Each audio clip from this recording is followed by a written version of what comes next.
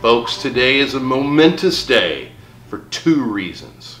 First, at the SEMO tailgate, today, Mrs. Karnes' is famous hot dogs from around the world. And secondly, Wood & Huston Bank is proud to be the game sponsor for the SEMO Murray State game today. So come on out to Houck and watch us kick Murray's butt because today it's game day.